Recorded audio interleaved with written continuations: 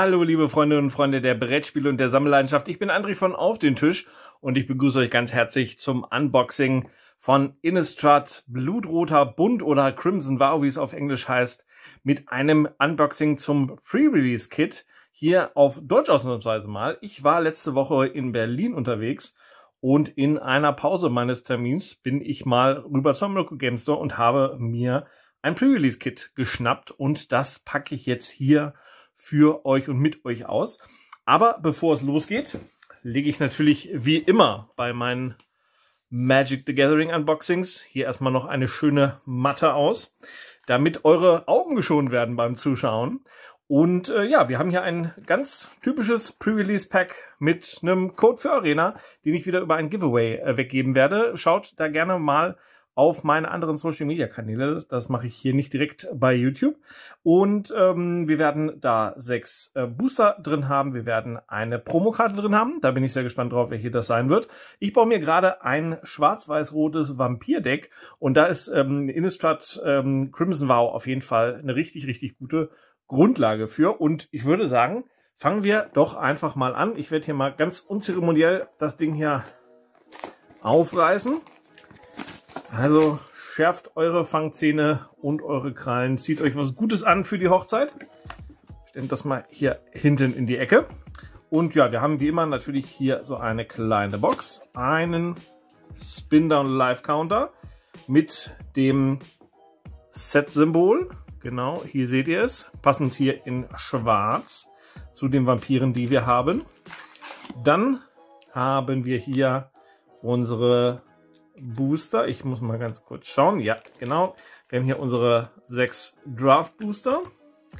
Einen Divider. Hier ist der Arena-Code drauf auf der Rückseite. Wie gesagt, den gebe ich dann noch weg. Wie immer beim Pre-Release-Pack, normalerweise trifft man sich ja, macht daraus ein kleines Deck und spielt dann gegeneinander. Aber das geht aktuell wieder in den Läden zum Glück. Insofern, wenn ihr da dabei wart, hoffe ich, dass ihr dafür Spaß hattet. Und hier gibt es eine schöne Hochzeitseinladung mit dabei. Denn um die geht es ja in der Story hier bei Innistrad Crimson Vow. Und hier ist die Packung mit der Promokarte drin. Und ich würde sagen, mit der fangen wir auch einfach mal an. Die machen wir mal direkt auf. Und wir haben hier als Promokarte Dämonischer Handel für zwei beliebige ein schwarzes Mann, eine Hexerei, eine Rare. Schicke die obersten 13 Karten deiner Bibliothek ins Exil und durchsuche dann deine Bibliothek nach einer Karte. Nimm die Karte auf deine Hand und mische danach. Das packe ich vielleicht in eins meiner Decks rein, wo ich eh viel mit Milling arbeite, wo es also auch nicht so schlimm ist, wenn ein paar Karten auf dem Friedhof landen. So, ach nee, die gehen ja hier ins Exil. Insofern, ähm, ja, ja, da hätte ich mich über eine andere Promo mehr gefreut, glaube ich. Aber die haben wir ja schon mal erledigt. Ansonsten hier noch Promos drin. Einmal den äh, hier Token mit Tag und Nacht und wann die jeweils aktiv werden. Und dann noch drei ähm, ja, Ersatzkarten für, wenn man hier halt Karten hat, die transformiert werden können. Da kann man dann hier quasi die beiden Karten ähm, Namen draufschreiben, also die Vorder- und Rückseite und das dann halt anstatt der Karte ins Deck nehmen, wenn man halt ohne undurchsichtige Hüllen spielen will. Warum auch immer man das außerhalb vielleicht von einem Pre-Release tun sollte. Na gut.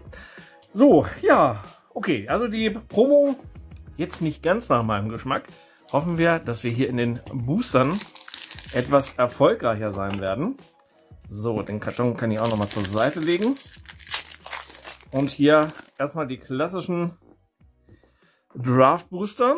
Hier direkt mal im Common mit einer der speziellen äh, Vampir-Rahmen, die wir haben, mit der streitlustigen Besuchen. Finde ich gar keine schlechte Karte, weil, ja, Trample hat man bei wenigen Vampiren zumindest. So, durch die Commons gehe ich auf jeden Fall nur mal schnell durch. Ihr werdet ja wahrscheinlich euch schon ein bisschen zu den Karten, die hier im Set mit drin sind, informiert haben. Da gibt es die Infos ja jetzt schon einige Zeit. Und bei den Commons kommen wir an, da haben wir hier den parasitären Griff. Der fügt einer Menschenkreatur deiner Wahl drei Schadenspunkte zu und du hältst drei Lebenspunkte, aber man kann es auch für die Abspalten Kosten spielen. Das ist eine der neuen äh, ja, Keywords, die hier in Crimson Vow mit dabei sind. Da kann man auch etwas für die Abspaltenkosten zahlen und ignoriert dann quasi die Sachen, die in den eckigen Klammern drin sind. Also hier würde man Mensch ignorieren. Man könnte also für ein beliebiges und zwei schwarzes statt ein beliebiges und ein schwarzes Mana könnte man halt einer beliebigen Kreatur drei Schadenspunkte zufügen und selber drei Lebenspunkte bekommen. Es werde Nacht, drei beliebige, ein rotes, eine Hexerei. Es wird Nacht, ja, okay. Also man kann eben die Tag und Nacht nicht nur durch die Standardvoraussetzungen hervorrufen, sondern auch durch manche Karten direkt. Und wirf eine beliebige Anzahl Karten ab und ziehe dann entsprechend viele plus eine. So, ähm, ja, Karten abwerfen, Karten dann wieder neu ziehen, das ist in Rot hier öfters mal dabei. Und dann haben wir noch den rastlosen Blutsucher für ein beliebiges, ein schwarzes Mana, ein Vampir, 1-3. Zu Beginn deines Endsegments und falls du in diesem Zug Lebenspunkte erhalten hast, ähm, erzeuge einen Blutspielstein und opfere zwei Blutspielsteine, transformiere den rastlosen Besucher, aktiviere diese Fähigkeit wie eine Hexerei. Ja, viele Dinge auch in dem ähm, Commander-Deck, was es für Crimson Vow geben wird ähm, ja viel mit den Blutspielsteinen gearbeitet. Schauen wir mal auf die andere Seite. Oh, da haben wir schon gesehen, welche Rare das ist. Der blutgetränkte Hedonist. Immer noch ein Vampir, 3-3. Auch hier ähm, äh, bekommt man immer noch einen Blutspielstein, wenn man äh, Lebenspunkte erhalten hat. Und, also im, innerhalb des Zuges. Und für vier beliebige ein schwarzes, jeder Gegner verliert zwei Lebenspunkte und erhält zwei Lebenspunkte dazu. Ja, vielleicht eine nette Sache in Commander, wo man ja vielleicht, ähm, wenn das Spiel länger gehen sollte, vielleicht auch mal ein bisschen Mana übrig hat. Ja, auf jeden Fall keine schlechte Karte, setze ich mir mal auf die Liste für mein Vampir-Deck. Aber als Rare haben wir die sturmgepeitschte Küste. Die kommt getappt ins Spiel, es sei denn, man kontrolliert zwei oder mehr andere Länder und erzeugt dann entweder ein blaues oder ein rotes Mana. Sehr, sehr schön, werde ich auf jeden Fall in mein Piratendeck mit reinpacken, weil da ist blau, rot und schwarz dabei. Und ähm, dieser Zyklus an äh, Doppelländern, die halt ungetappt ins Spiel kommen, wenn man mindestens zwei Länder kontrolliert bereits, der ist tatsächlich mit den beiden Instart-Sets abgeschlossen. Das finde ich eine sehr, sehr schöne Sache. Kommt immer gut in Commander-Decks. Dann in jedem Booster ist eine ewige Nachtlandkarte drin. Gebirge habe ich hier in diesem Falle. Und dann haben wir noch als Foil den Smoking des Bräutigams. Für ein beliebiges ein schwarzes Mana eine Ausrüstung. Die ausgerüstete Kreatur hält plus 2 plus 0. Sie hält außerdem plus 0 plus 2 und hat Todesberührung, solange eine Ausrüstung namens Brautkleid an eine Kreatur, die du kontrollierst, angelegt ist. Ausrüsten 2. Und äh, ja, das ist quasi hier das Gewand von Edgar für die Hochzeit. Und äh, ja, seine Braut bekommt auch ein entsprechendes Kleidungsstück. Ähm, und wenn beide quasi im Spiel sind bei einem, dann ja, kriegen die noch einen kleinen Extra-Bonus. Ich würde aber trotzdem sagen, dass die vielleicht ein bisschen zu teuer sind für zwei zum Ausspielen, zwei zum Ausrüsten, aber ja, nicht verkehrt und ja, in voll natürlich auch nicht schlecht. Diese Brosche, die da an der, an dem ähm, ja, Smoking mit dran ist, leuchtet es auf jeden Fall richtig schön. Gutes Falling. Hier mal wieder einen Tag-Counter haben wir auch noch mal dabei. So was wir halt immer noch mal so am Ende eines Boosters finden. So, schnell wieder durch die Commons durch. Das Artwork wieder ganz hervorragend und bringt natürlich auf jeden Fall diesen ja, Horror-Style von Innistrad super rüber. Als Hundemensch freue ich mich natürlich auch über schöne Wolfsillustrationen. Bei den Commons, äh, Uncommons haben wir hier den Magma-Prügler. Ich gehe jetzt hier auch mal etwas schneller durch.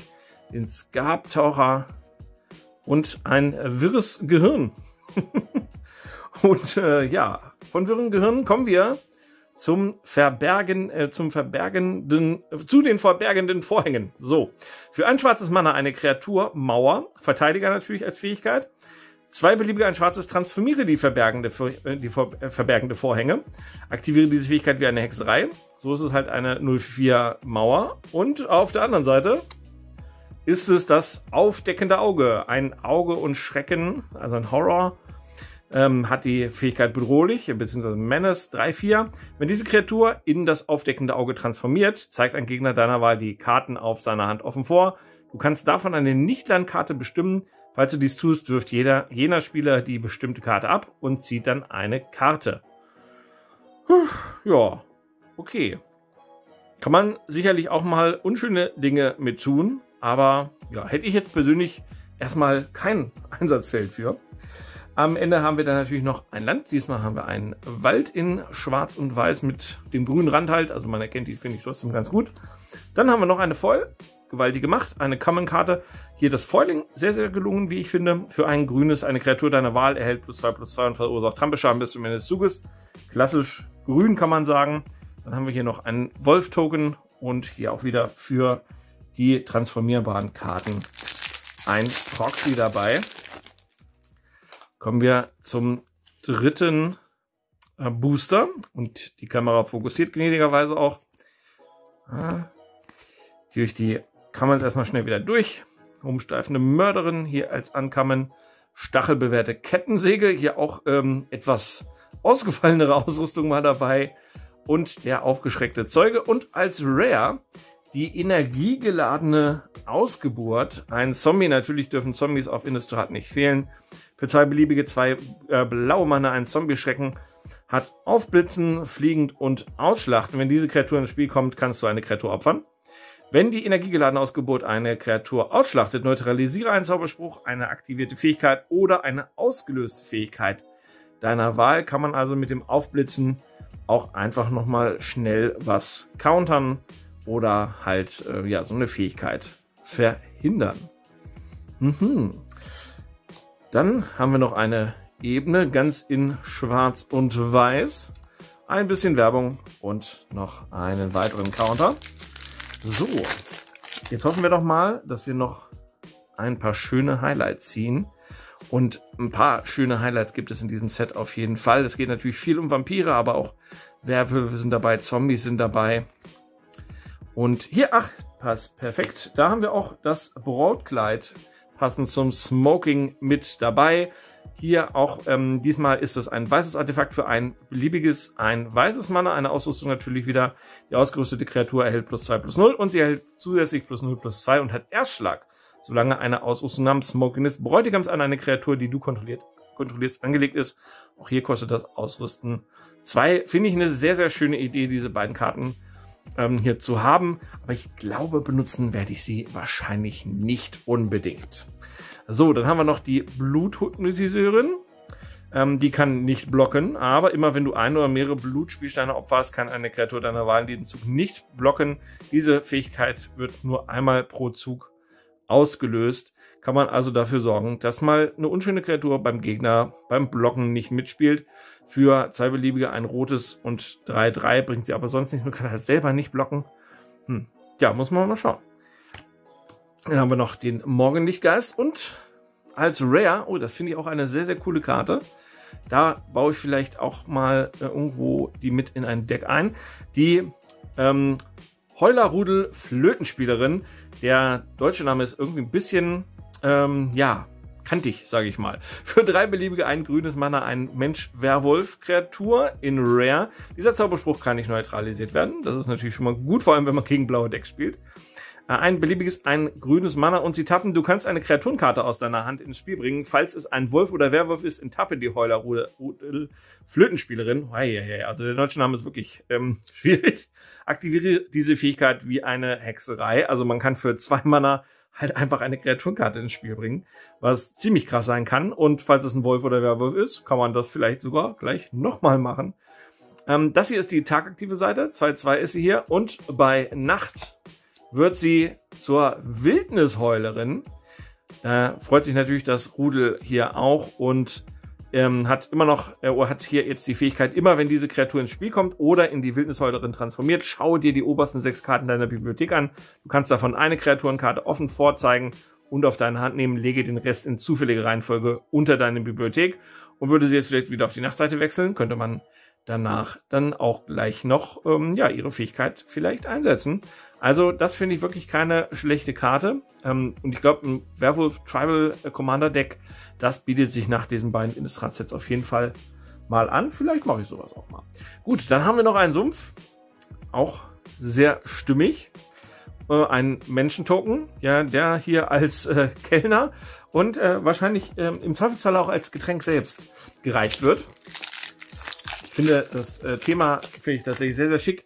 Ich fände es sehr cool, wenn es irgendwie so eine Magic the Gathering Animationsserie gäbe zum Beispiel, in der dann die Geschichten aus den Sets erzählt werden. Das finde ich echt cool, weil so was man so als Story-Schnipsel mitkriegt, ist manchmal schon echt sehr, sehr interessant.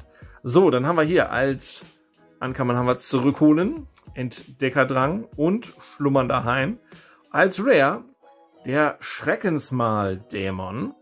Eine Rare in Schwarz, fünf beliebige, zwei schwarze Mana, ein Dämon fliegend. Zu Beginn deines Endsegments opferst du eine Nicht-Dämon-Kreatur. Falls du dies tust, erzeuge einen Spielstein, der eine Kopie des äh, Schreckensmal-Dämons ist. Also da kann man auch ein paar kleinere Sachen mal schnell in ein paar dicke fliegende Dämonen verwandeln. Ein Gebirge haben wir hier noch dabei.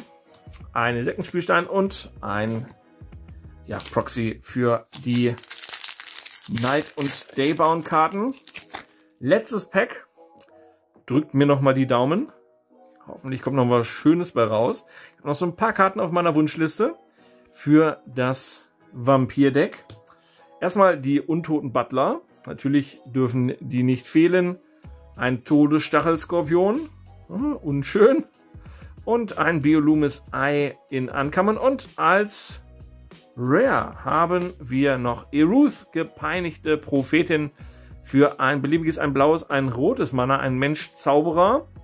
Falls du eine Karte ziehen würdest, schicke stattdessen die obersten zwei Karten deiner Bibliothek ins Exil. Du kannst sie in diesem Spielzug spielen. Mhm, für 2-4. Ja, so eine klassische Spellslinger-Nummer für Rot und Blau. Ähm, ja, da auch gerne genommen. Ja, habe ich jetzt auch noch nichts zu. Werde ich wahrscheinlich auch erstmal nicht einsetzen. Ja, und das war's dann jetzt auch schon fast. Ein Wald haben wir noch dabei. Oh, oh, sehr schön. Oh, das ist doch nochmal das ist doch nochmal schön. Die Giftpilzlichtung als Foil. Ja, so ein extra Foil Rare. Da freut man sich doch drüber. Ähm, das ist ja die grün-schwarze Variante der Länder, die getappt ins Spiel kommen, solange man nicht mindestens zwei andere Länder kontrolliert. Das freut mich sehr, weil die hätte ich auf jeden Fall für mein Elfendeck haben wollen. Ja, die kann ich jetzt schon mal von der Liste nehmen. Das ist ja schön. Das ist nochmal eine schöne Überraschung zum Schluss werfen wir nochmal kurz einen Blick auf die Rares. Die Giftpilzlichtung hatten wir hier. Eruth, gepeinigte Prophetin. Der Schreckensmal-Dämon. Heulerrudel Flötenspielerin, meine Güte. Ein wirklich langer Name auf Deutsch. Energiegeladene Ausgeburt. Verbergende Vorhänge. Die sturmgepeitschte Küste, also gleich zwei von den Ländern hier mit drin. Aber das finde ich eine schöne Sache. Die sind jetzt nicht mega teuer, sind aber auch nicht ganz billig. Insofern, ja, kann man sich nicht beschweren. Und die der, der dämonische Handel hier als Promokarte, die natürlich auch wie immer in Foil ist. Das Artwork finde ich ziemlich cool, muss ich gestehen, aber ja. Ähm, insgesamt fehlen vielleicht ganz klein bisschen die ganz großen Highlights. Der Mythic Rare war jetzt hier tatsächlich mal gar nicht dabei. Äh, das passiert mir normalerweise nicht. Ich bin normalerweise ziemlich äh, vom Glück gesegnet. Aber ja, die beiden äh, Doppelländer oder quasi Doppelländer, die finde ich auf jeden Fall eine schöne Sache. Da freue ich mich sehr drüber. Und ich hoffe, ihr hattet ähm, ein bisschen Spaß an diesem Video, habt ein bisschen mitgefiebert.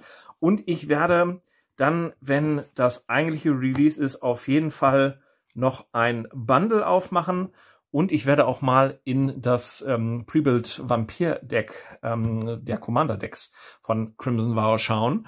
Und ähm, ja, wenn euch das Video gefallen hat, lasst ihm gerne mal einen Daumen hoch da. Lasst mir gerne auch ein Abo da, wenn ihr ab und zu mal solche Videos bei mir schauen wollt und wenn ihr euch vor allem auch für Brettspiele interessiert. Das mache ich so hauptsächlich auf meinem Kanal. Und bis zum nächsten Video folgt mir auch gerne mal bei Facebook, Twitter oder Instagram. Und bis dahin sage ich dann bis bald und ciao.